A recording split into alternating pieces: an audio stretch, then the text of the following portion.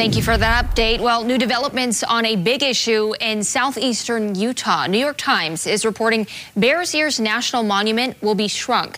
The paper is quoting unnamed congressional aides in D.C. who have seen Interior Secretary Ryan Zinke's monuments report to the president.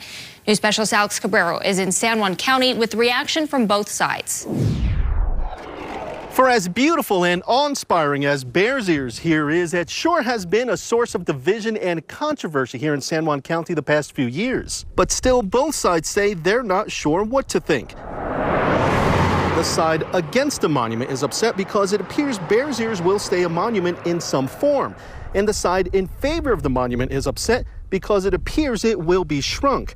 The New York Times is reporting it will go from the current 1.3 million acres to about 160,000 acres, less than 10% of what it is now. Both sides say, if anything, this recommendation has created even more chaos because nothing official was announced during yesterday's decision deadline. I have to be honest, I was a little disappointed. I'd been expecting a, a real recommendation, you know, something with specifics, with numbers and, you know, si the boundaries and, and things like that. I view the Bears Ears National Monument as a cultural landscape.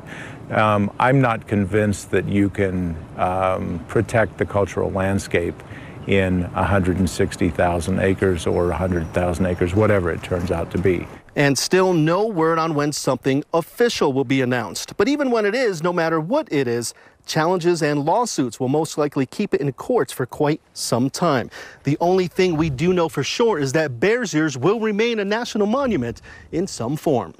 For Live at 5 at Bears Ears National Monument, Alex Cabrero, KSL 5 News. Alex.